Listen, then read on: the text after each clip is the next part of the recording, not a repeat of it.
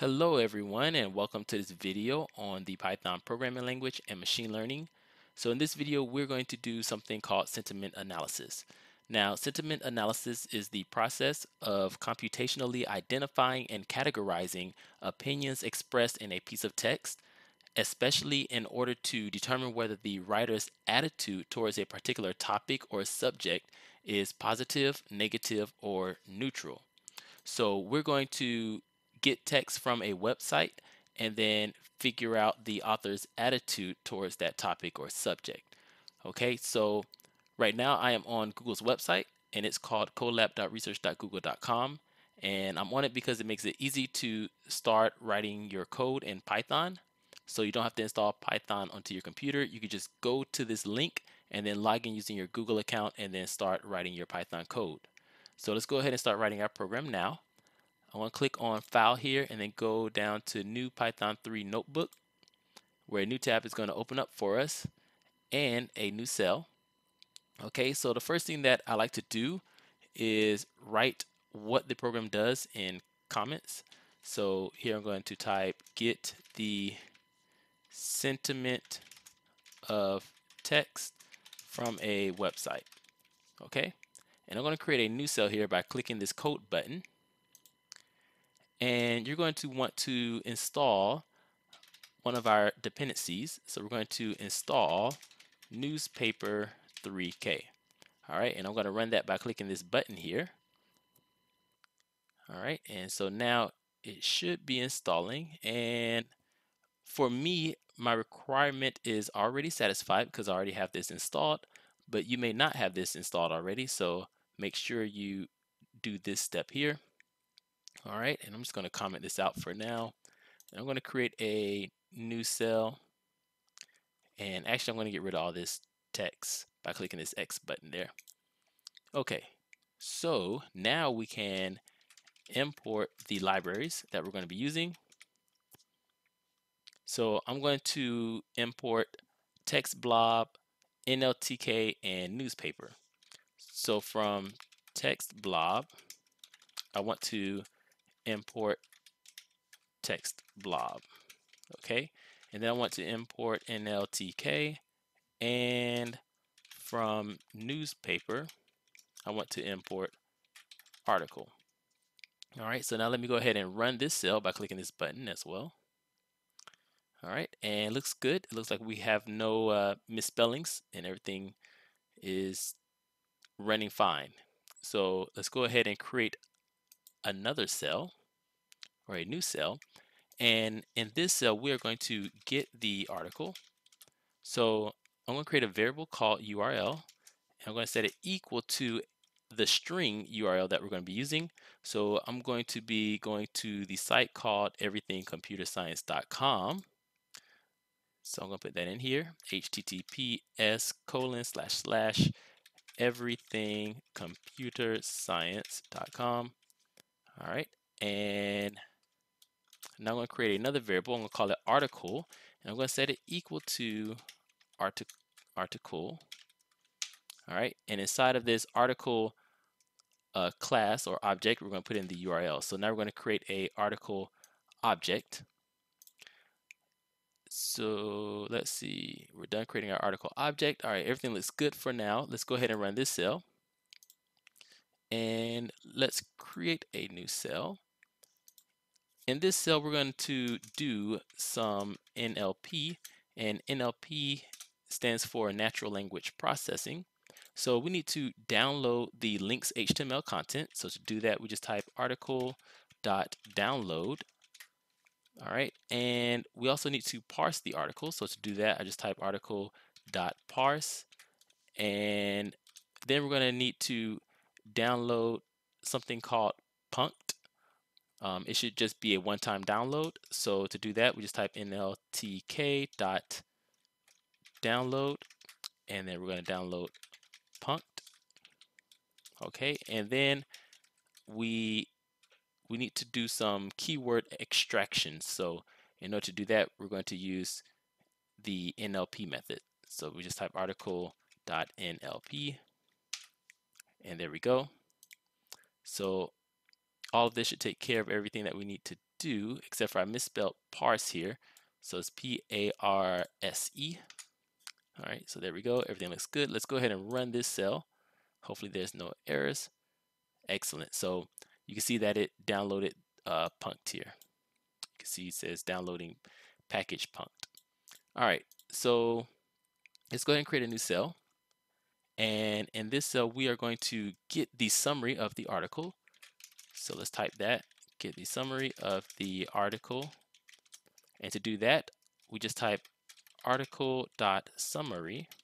And I want to save that to a variable. So I'm going to create a variable called text and set it equal to article.summary. And then I want to print the text. So to do that, we just type print and then text. Okay, so let's run this cell here.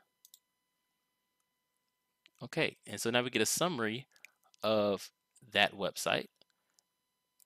And it says computer science, CS, computer science, is the study of the principles and use of, let me keep scrolling over here, of computers. All right, let me go ahead and scroll back. All right, simply put, it's the science that deals with the theory and methods of processing information in digital computers, the design of computer hardware and software, and the applications of computers. All right, and then it says a computer is simply a tool for computer scientists like a telescope for an astronomer. And then last it says teach yourself, exclamation point. Okay, so this is the the summary of the website.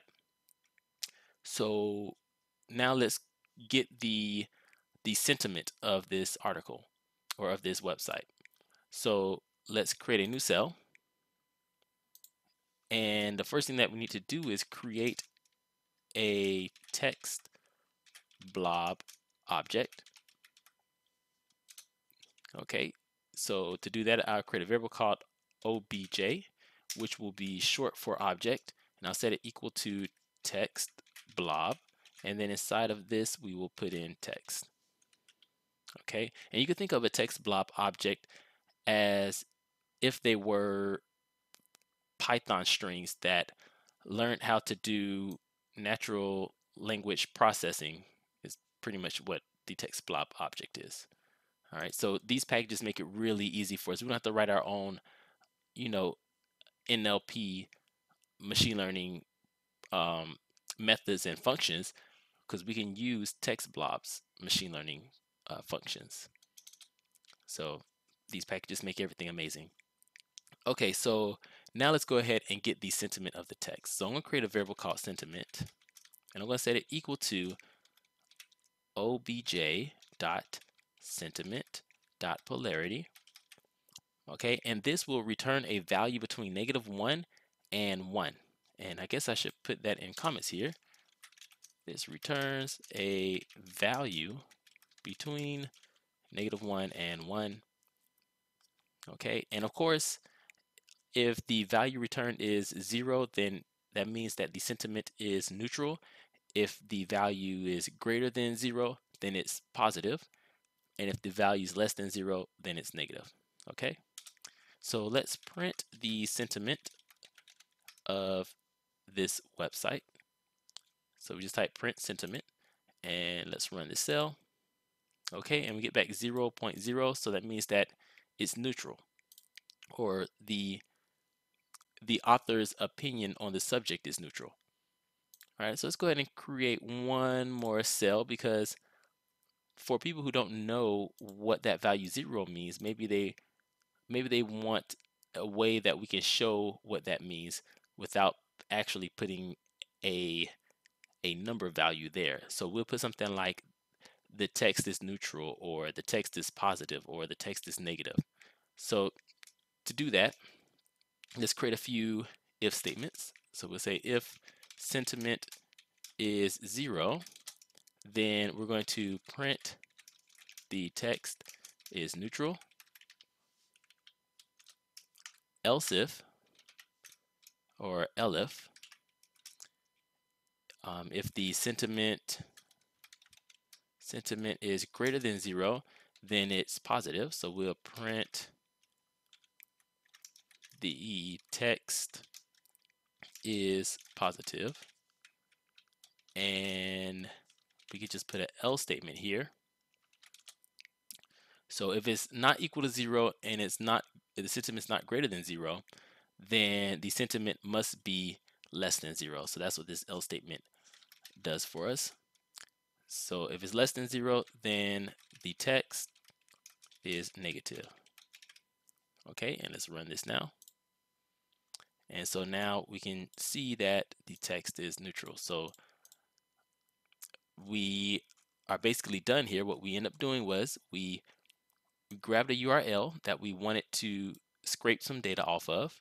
We did some natural language processing with that data. We got the summary from that site. We printed that text from the summary. Then we created a text blob object and we got the polarity of the text, which is the sentiment. We then printed that sentiment value, which gave us 0.0, and we printed out in text what that value means, which is the text is neutral. Okay, so that's basically it. Um, thank you all for watching. Please leave any questions you have in the comment section. I have more videos on machine learning, so be sure to check those out. And if you like this video, please subscribe to the channel and share it. And as always, thank you all for watching, and I'll see you all in the next video.